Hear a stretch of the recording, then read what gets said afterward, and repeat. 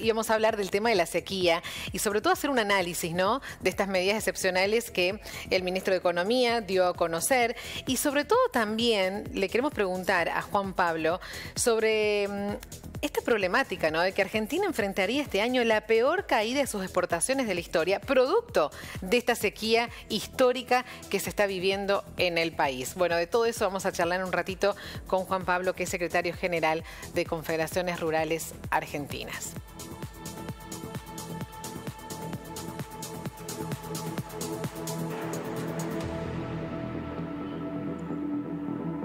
Juan Pablo, ¿nos escuchás bien ahora? Sí, ahora te escucho bien. Se ve que hay mucho, mucho, mucho uso de celular en toda la zona en Santiago y bueno, con esto del partido debe estar saturado todo, ¿no? Eso decíamos, claro, estás ahí vos, ¿eh? eh con una congestión de, impresionante, una multitud. Veíamos las imágenes de cuando llegó la selección anoche. ¡Qué locura, Juan Pablo, por favor! Sí, no, la, verdad es fantástico tenerlo acá. Lo que pasa es que los que tenemos que trabajar este, se nos complica un poco el tránsito, ¿viste?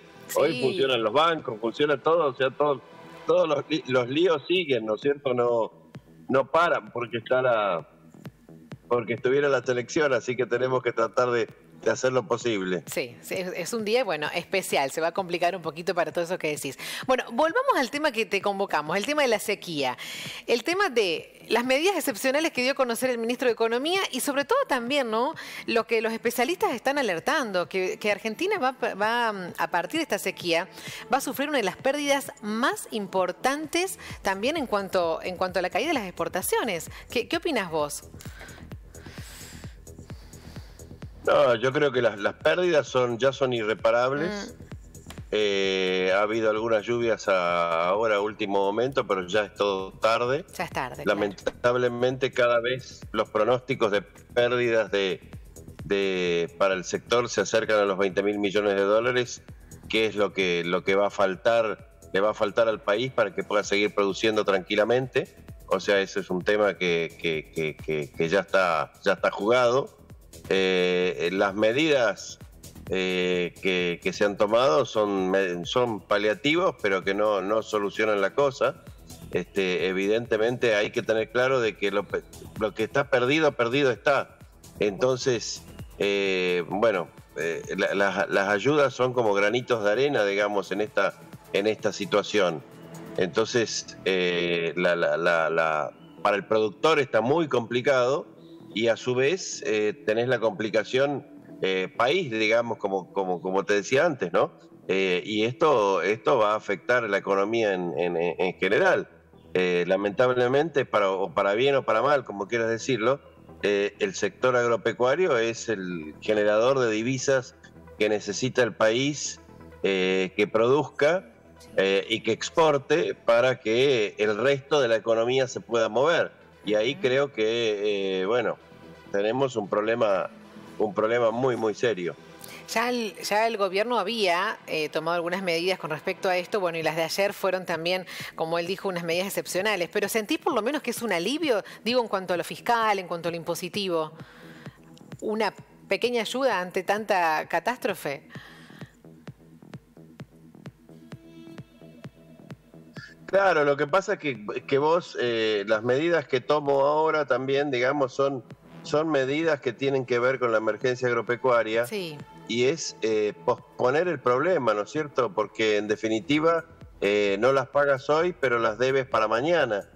Y en ese sentido vamos a ver lo que, lo que se pueda sembrar en la próxima cosecha y quién lo puede hacer, porque otro de los problemas que existen es el financiamiento que necesita el productor para poder encarar, perdón, una, una nueva siembra. Y, ahí es donde uno siempre dice que, hace mucho que lo decimos desde acá, eh, que realmente lo que necesitamos es un seguro de riesgo, eh, multirriesgo, digamos, que, que, sea pagado por, por los productores y por el, por el Estado, alguna combinación como se funciona en otros países, para que el productor tenga la plata para poder volver a sembrar. Y en esto, eh, digamos, sobre todo afecta a los medianos productores, ¿no? ¿Qué, se debería, qué medida urgente se debería tomar más allá de estas paliativas? que son, como vos decís, pequeños parches. Una medida concreta que el gobierno debería tomar, y si la puede tomar. Mirá, el, tema del financiamiento y, las ayudas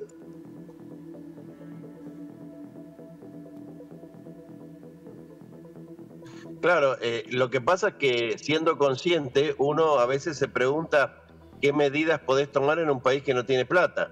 Claro, por eso te digo, el contexto es eh, complicado. Acá, acá, acá, acá estás en una disyuntiva muy, muy, claro, en un contexto muy, muy, muy complicado, porque eh, lo que necesita el productor en definitiva es, es plata para sobrevivir y, créditos muy baratos a, prácticamente a tasa cero, te diría, pero, pero, pero mucho.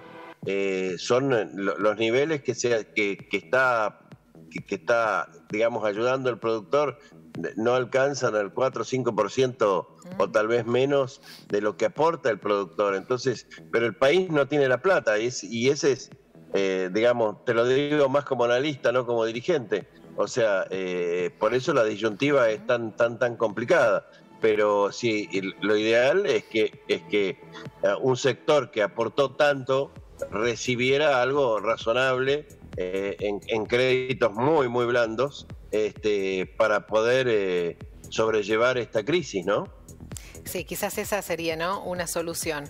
Bueno, eh, vamos a ver cómo, cómo continúa esta situación tan, pero tan complicada. Una sequía histórica que, como vos decías, con daños realmente irreparables van a ser. Juan Pablo, queremos tener tu, tu voz y tu opinión en esta mañana. Te dejamos ahí seguir tranquilo en ese tránsito caótico que tiene Santiago del Estero hoy.